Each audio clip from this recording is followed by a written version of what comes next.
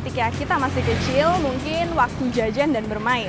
Di kawasan Kemang, Jakarta Selatan ini, toko Cemal Cemil menawarkan banyak jajanan tempo dulu yang saat ini sudah sulit untuk ditemukan. Nah, beberapa di antaranya ada permen telur cicak, permen hopius, dan juga coklat ayam jago. Untuk mengetahui lebih banyak lagi, jajanan apa saja yang ditawarkan di toko ini, ikuti saya.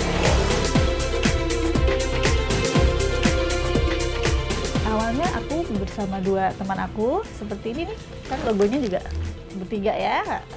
Jadi kami itu emang uh, bekerja di bidang yang kreatif gitu. Jadi kita satu kali makan di sebuah restoran di Kemang juga. Uh, lalu kami mulai mengingat-ingat uh, masa kecil gitu.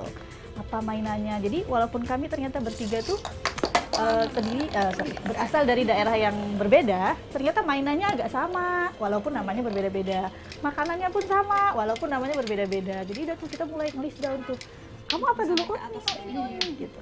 Pada awalnya tokonya nggak sebesar ini, maksudnya makanannya mungkin cuman 10 macam 10 macam gitu. Tapi dengan berjalannya waktu orang-orang kasih ide, eh inget nggak bu dulu ada mainan ini gitu atau ada lagi kita juga hunting setiap tahun sekali kita hunting yang ada akhirnya sekarang menjadi sebesar ini gitu.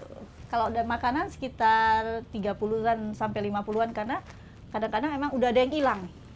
Waktu pertama ada lalu hilang. Kalau mainannya itu lebih banyak ada sekitar 100 buah.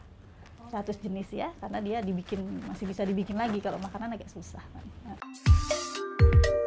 Bu ternyata di Cemal Cemil ini nggak cuma cemilan ya yang dijual, oh, iya, tapi ada ada barang-barang yang vintage, yang kuno, uh, ya.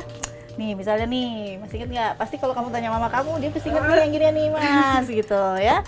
Ini juga nih, ini punya oma saya dulu nih. Oh iya, nih, itu ya kan? sering lihat tuh. Tuh ada tutupnya, gitu. Ini kalau di Jogja, semua bakul-bakul yang di pasar Beringharjo itu pasti minumnya pakai ini. Ya.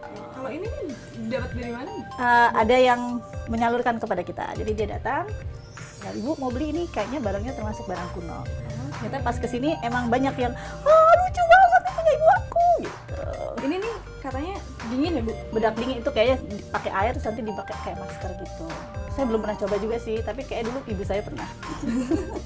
nah, pemirsa yang mau nyobain bedak dingin buat di toko cemal-cemal juga ada. Uh, uh, ada.